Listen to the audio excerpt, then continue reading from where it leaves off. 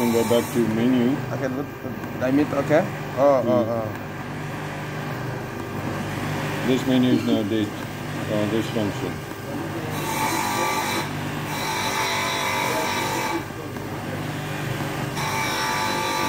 If you now continue, you're not saving. If you continue, you're not saving. If I continue, I'm still in the live menu. So I must save. You must use or metric.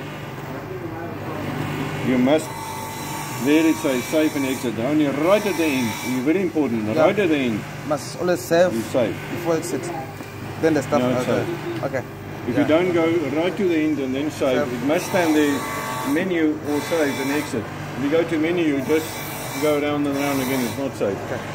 And eventually you forget you don't know because you're going to call me and say it did not save. Mm, Go right to the end and when it's asking you menu or save, yes no, then you save. Okay. Okay, it's easy, isn't yeah, it? very easy, very easy.